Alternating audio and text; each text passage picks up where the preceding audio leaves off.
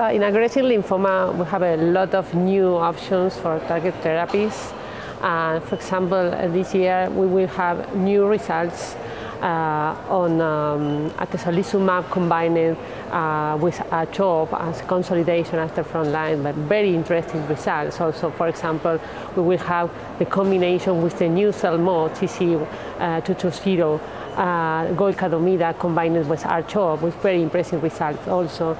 And then we will have a new uh, options in relapsed refractory disease. We have a new combination of glofitamab uh, with a T cell engagement that uh, goes to uh, against CD19 and 4-1BB, and it's a very interesting combination with very interesting complete response rates also, especially for for first relapse patients with 77% complete response rate is encouraging, and probably in the future it could be compared with CAR T first relapse, probably.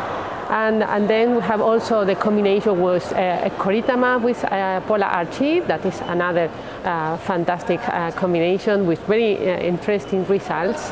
Uh, so we have a lot of options this, in this um, Congress to, to for, for think about new, new strategies in the near future.